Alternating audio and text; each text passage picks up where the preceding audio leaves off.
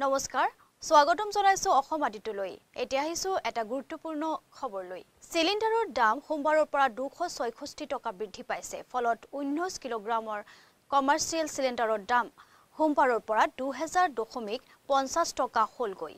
ইয়াৰ পূৰ্বে সোতৰশ চৌত্ৰিছ টকা আছিল এই চিলিণ্ডাৰৰ দাম।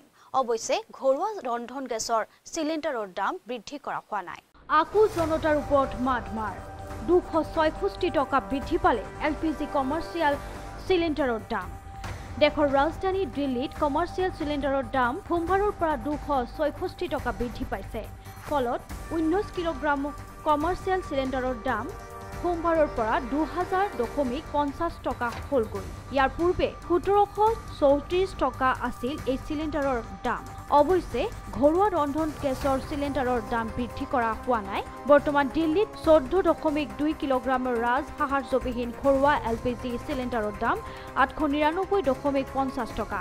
বিগত মাহত তেল কোম্পানীয়ে ৰাজ সাহাৰ্যবিহীন চৈধ্য দশমিক দুই কিলোগ্ৰামৰ চিলিণ্ডাৰৰ দাম পোন্ধৰ টকা বৃদ্ধি কৰিছিল।